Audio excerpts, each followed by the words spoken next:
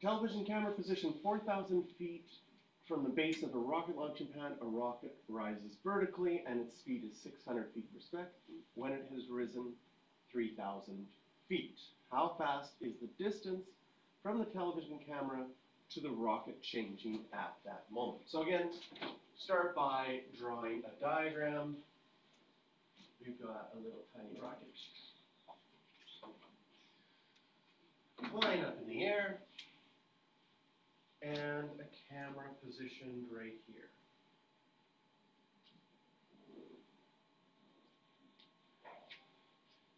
This is 4,000 feet. This is changing, and this is changing. So I'll use Y and Z for those things. And if we write down what we know, okay?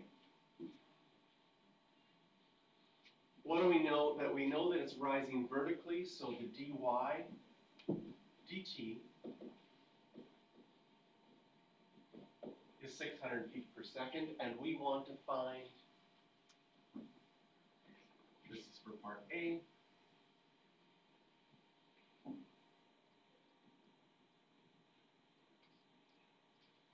at y equals 300.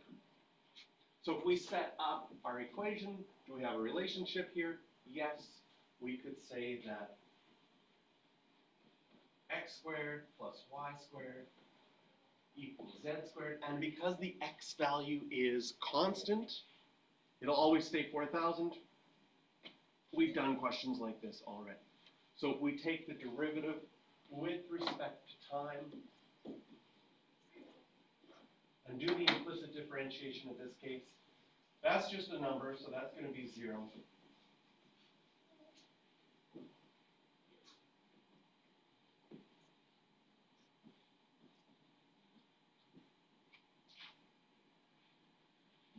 And we want to find it at 3,000. So I hope you recognize this too as the 3, 4, 5 triangle.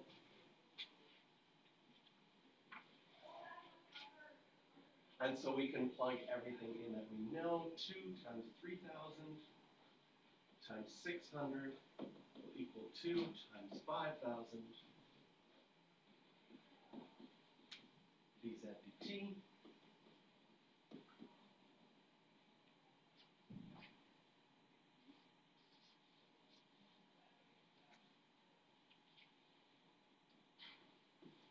All right. A little bit early. Check that with a calculator. That seems, does it seem reasonable?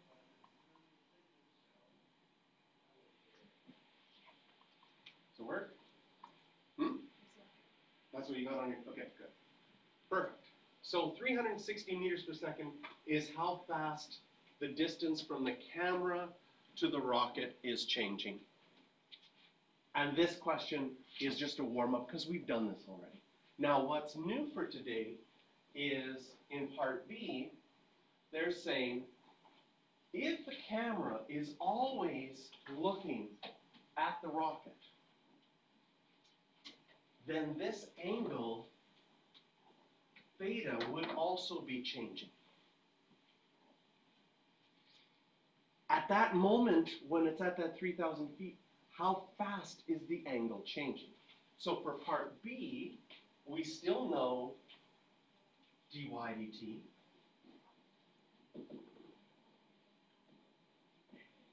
is at 600 feet per second, but now we want to find out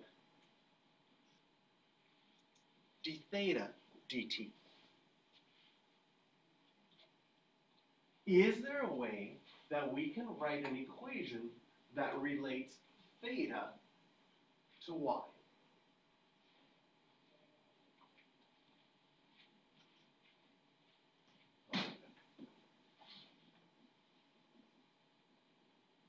So we have still at the same moment, and again, we'll look at our regular picture here. In our regular picture in the blue, I've indicated all the things that can change.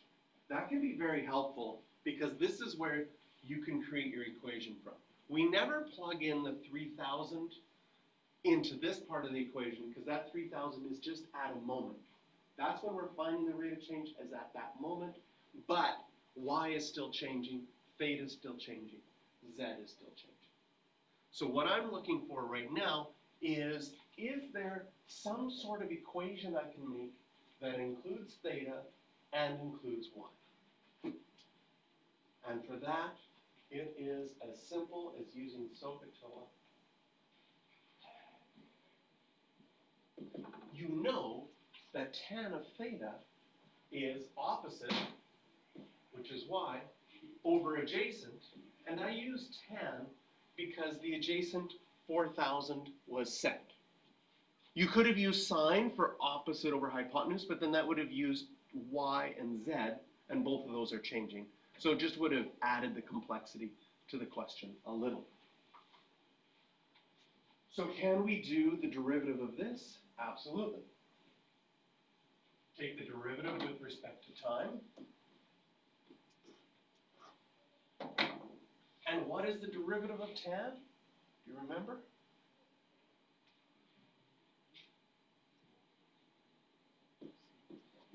Squared, and then a chain rule, you would have d theta dt. So implicit differentiation is like, do your derivative like normal, but just add the dy dt, d theta dt, whatever you have.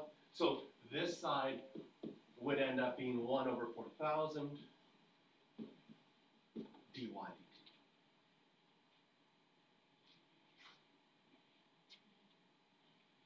So we want to solve for d theta dt. We know dy dt. At 3,000, here is the, I'll redraw this triangle. And we have two options at this moment, okay? Can you see that at 3,000 you've got an actual triangle?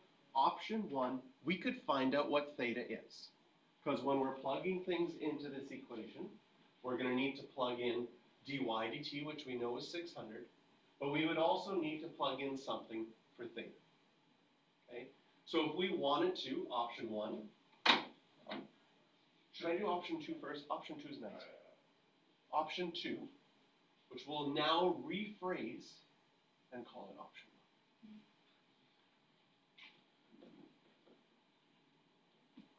one. Option one.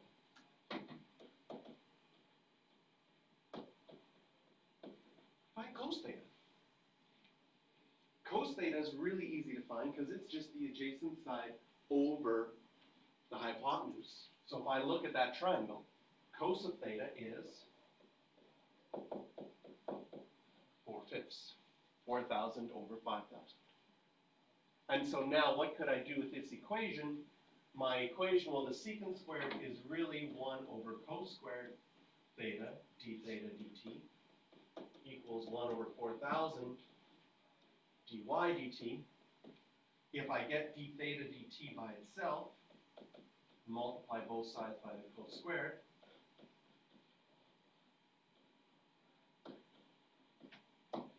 And now, without solving for theta, where the cos is, I could replace that with 4 fifths. I replace the dy dt with 600. And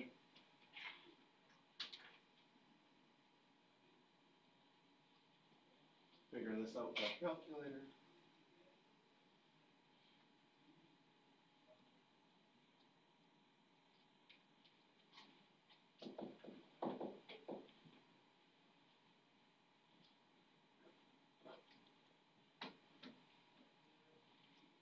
Now, an interesting thing that comes up with units in this is, oh, the question never said degrees or radians. Do I have a choice? Could it be either one? No. All of our derivatives that we found for sine and cos and tangent, although we never really explicitly said it very much while we were doing it, those derivatives only work out nicely if things are in radians. If you do a if you wanted the angle in degrees, you would have a little bit more math to do. So another advocate for why are radians used in higher level math? Well, their derivatives are nicer than if they were in degrees. So our units here has to be radians per second. Okay? I like that better than option two. We'll do right beside.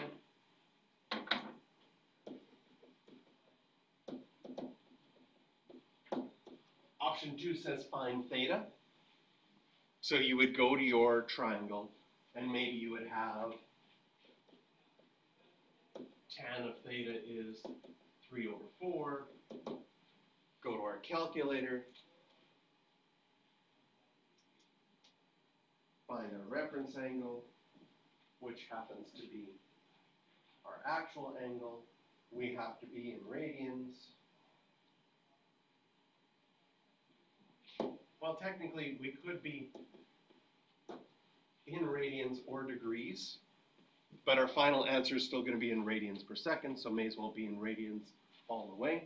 We find out that theta is 0.6435. In this situation, does it make sense that it's in quadrant one and not quadrant three? Because tan is positive. Because if we look at our picture, it's not like the camera's going to be pointing into the ground down below at some huge angle. It's going to be an acute angle between 0 and 90 degrees. So the only answer for theta that we need is this first answer. And then we would go from this step and we would just plug in cos of that angle all squared. So I'll type it in right now. Divided by 4,000 times by 600.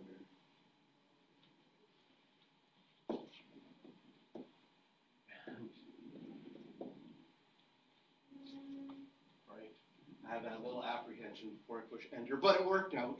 It is the same answer. Technically, what's nice about option one is you didn't need a calculator. Like we used a calculator to simplify, but technically this would be on you know a lot of university exams. They don't let you use your calculator, and so this would give you a nicer answer than this because you could do this without your calculator. So that's why I have it listed as option one. Okay, we'll do one more angle question. A kite 100 feet above the ground moves horizontally at a speed of 8 feet per second. At what rate is the angle between the string and the horizontal decreasing when 200 feet of string have been let out? So again, you're going to find that these related rate questions, you read them, and then you might make one of these sounds. Because it's sort of like, it seems overwhelming. But what do we have to do? We have to draw a picture of what's happening. So we've got a kite. So I'm going to draw a string.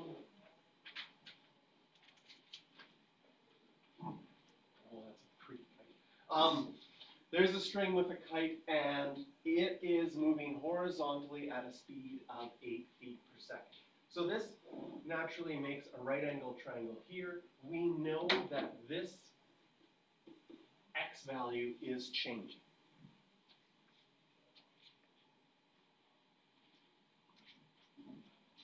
And as you let out the string, okay, this angle here is going to be getting smaller. I don't know how this person did this perfectly. It's, this would be quite the skill to actually have a kite perfectly stay at 100 feet above the ground. So this 100 doesn't change. But this value here is changing as well. So in green, I labeled all the things that are currently changing. This person is able to manipulate how fast they let the string out. so that the, the kite never goes over hundred feet. That is scary. Okay. So what do we know? We know that dx dt is eight feet per second. And can you see that the way that I've drawn my diagram, that x value is increasing, so it would be a positive value of eight. We want to find d theta dt is our question mark at z equals two hundred.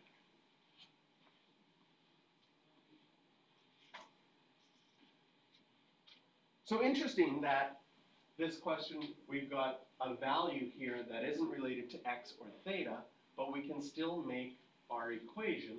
And again, I can make an equation using tan that would just use the theta and the x. So tan of theta would equal opposite 100 over adjacent x. And I might write this as tan of theta equals 100 x to the negative 1. So when I take the derivative with respect to time of this whole equation, derivative of tan is secant squared, explicit differentiation, so d theta dt equals derivative of this side would be negative 100 x to the negative 2. dx.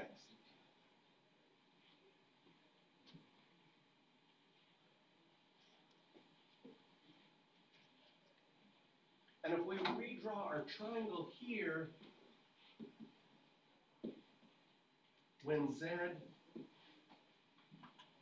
is 200, we could do a squared plus b squared equals c squared.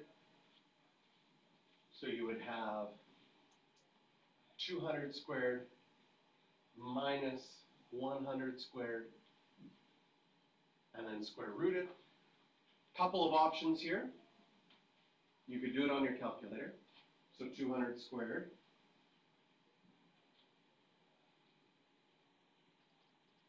Two hundred squared minus one hundred squared. You could either write this as the square root of 30,000, or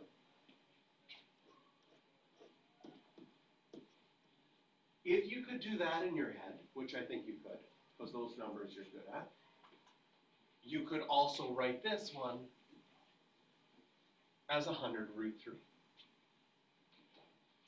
Which, mental math wise, is probably a lot easier than doing the 200 squared minus the 100 squared and then noticing, hey, I could pull out 100 squared out of this to make it a mixed radical, it's probably easier to use the similar triangle right from the beginning.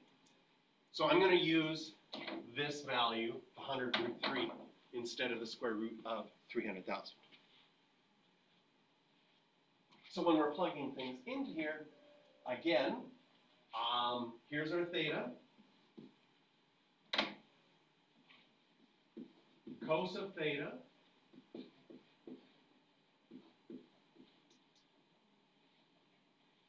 adjacent over hypotenuse. And what's nice about cos of theta here is we could have used this triangle up here as well. This reduces nicely to just root 3 over 2.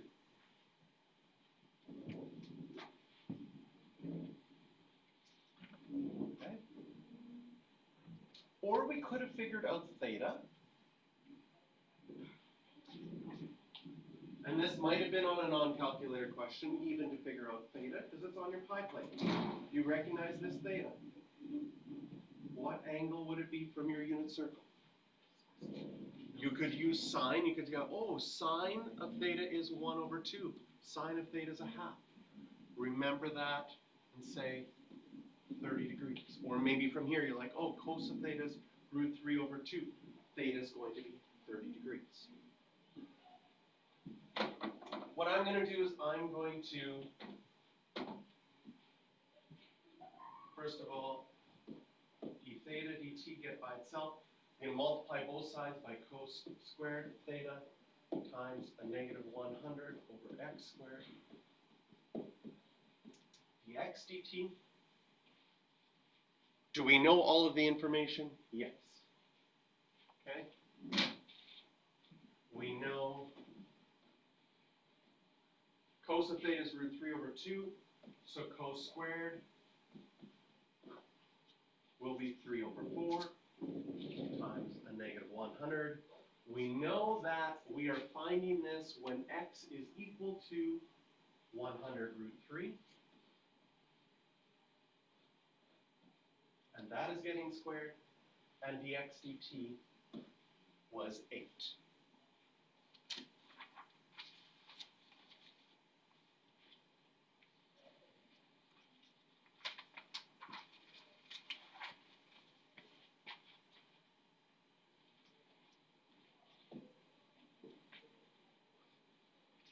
So again, multiplying this all out on your calculator, you could, if you wanted to keep the square root in there, if you wanted an exact answer, I would, oh no, you don't even need that. Yeah, let's just multiply it in our calculator. Three divided by four times negative hundred over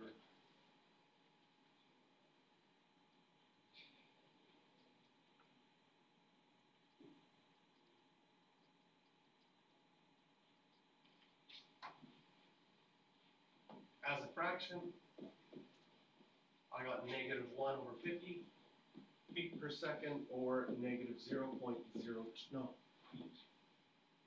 We're in angles, right? Radians per, is it seconds? Yes, radians per second or negative zero point zero two radians per second as our final answer.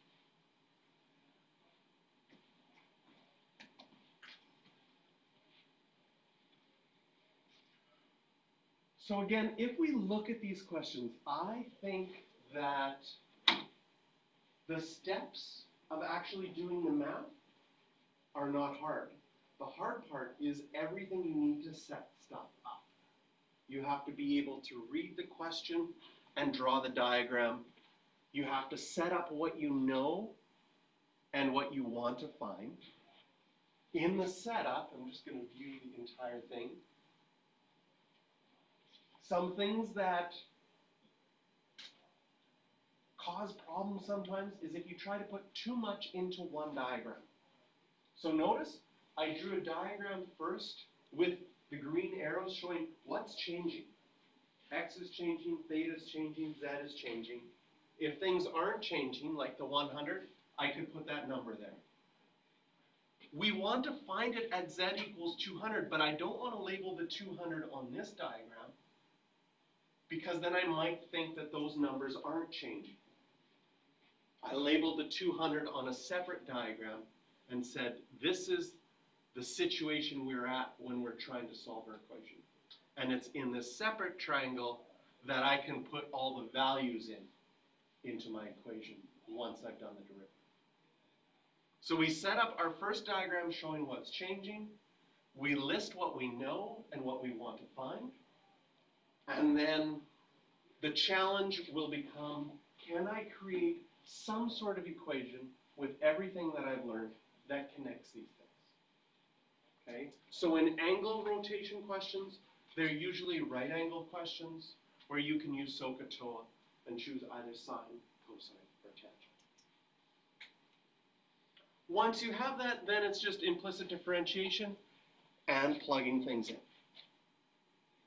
But the setup is what makes all of these questions a bit of a challenge. So now we've done volume questions, area questions, triangle questions, similar triangle questions, angle questions. They all have the same theme, but they are all somewhat challenging because the setup is a little bit different every single time. So they do take some time to practice.